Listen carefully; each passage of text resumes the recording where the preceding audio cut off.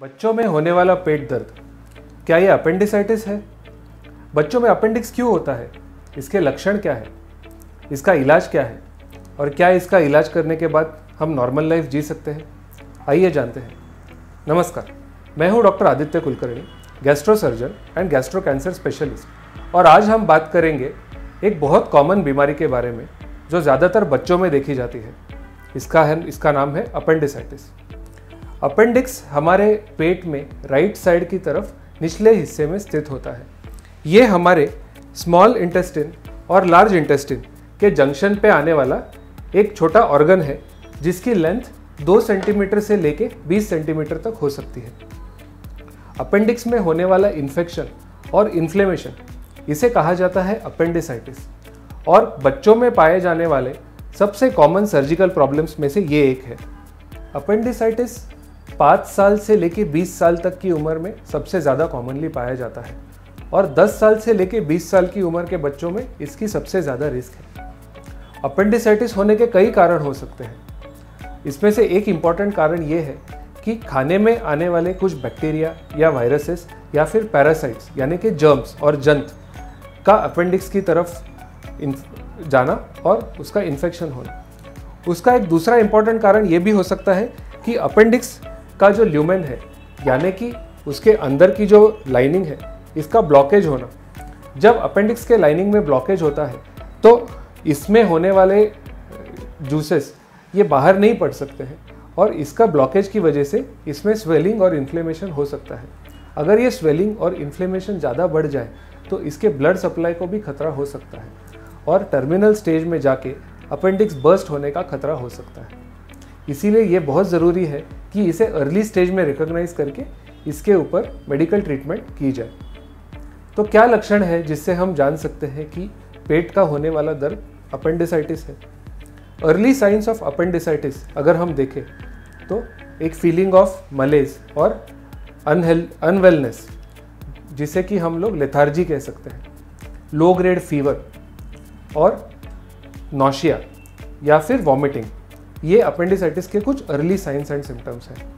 आगे जाकर पेट में दर्द होना। अपेंडिक्स से होने वाला पेट का दर्द शुरुआती स्टेज में अम्बिलिकस यानी कि नाभि और बेली बटन के पास में स्थित होता है। ये एक माइल्ड से लेके मॉडरेट पेन होता है।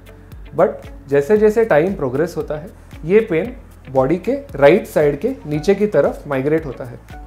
इसे हम राइट आइलियक फोसा और राइट लोअर क्वाड्रेंट का पेन कहते हैं।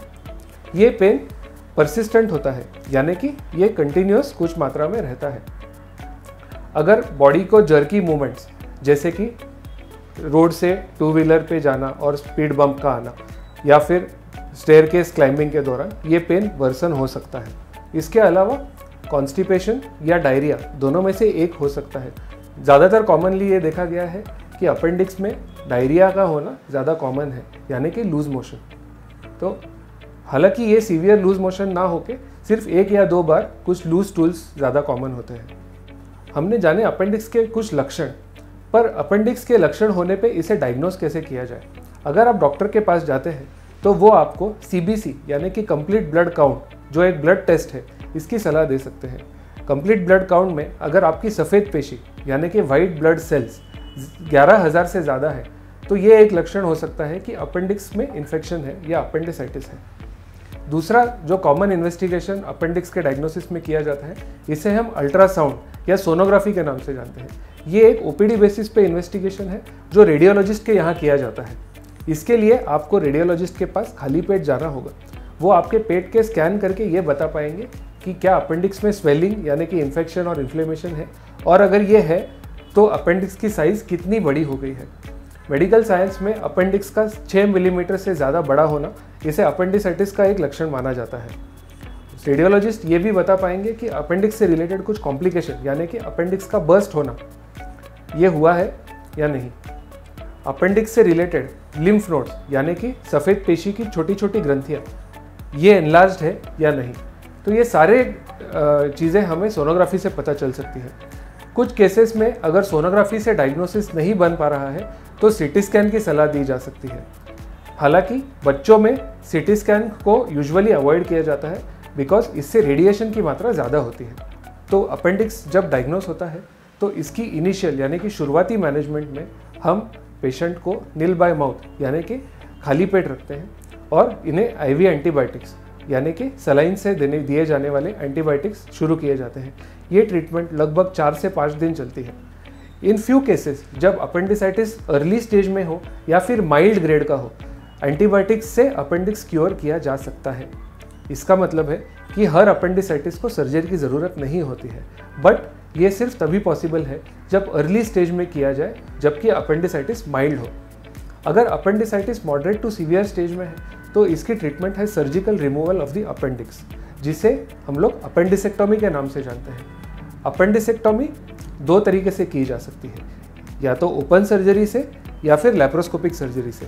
In today's day laparoscopic appendectomy is more than 99% of the surgeries done for appendix open surgery तब प्रेफर की जाती है जब लेप्रोस्कोपी अवेलेबल ना हो या फिर पेशेंट की कंडीशन ज़्यादा सीवियर हो जिससे कि वो लेप्रोस्कोपी को टॉलरेट ना कर सके। हालाँकि ये बहुत ही रेयर सिचुएशन है। जब हम लोगों को अपेंडिसाइटिस के लिए अपेंडिक्स को रिमूव करवाने की सलाह देते हैं तो एक बहुत कॉमन क्वेश्चन ये आता है कि क्या हम अपेंडिक्स को निकालने के बाद नॉर्मल लाइफ जी सकते हैं? क्या बॉडी का एक ऑर्गन निकालने से हमारे डाइजेशन पे कोई अफेक्ट होगा? या क्या हम नॉर्मल खाना खा पाएँगे या नॉर्मल एक्टिविटीज़ कर पाएँगे? तो yes all of this is definitely possible appendix को निकालने से बॉडी के डाइजेशन में या नॉर्मल एक्टिविटीज़ करने में कोई भी प्रॉब्लम नहीं आएगा। अपेंडिक्स रिमूवल सर्जरी एक बहुत सेफ़ सर्जरी है और इसमें सीरियस कॉम्प्लिकेशंस की risk almost less than five percent है। तो आप बेझिझक अपेंडिसाइटिस के लिए ट्रीटमेंट ले सकते हैं without fearing the risk of any severe complication अगर अपेंडिक्स से रिलेटेड आपको कोई भी इन्फॉर्मेशन चाहिए या आपको कोई भी सलाह चाहिए तो आप हमें लिख सकते हैं या आप हमें ईमेल कर सकते हैं। नीचे दिए गए ईमेल आईडी और नंबर पे। Thank you very much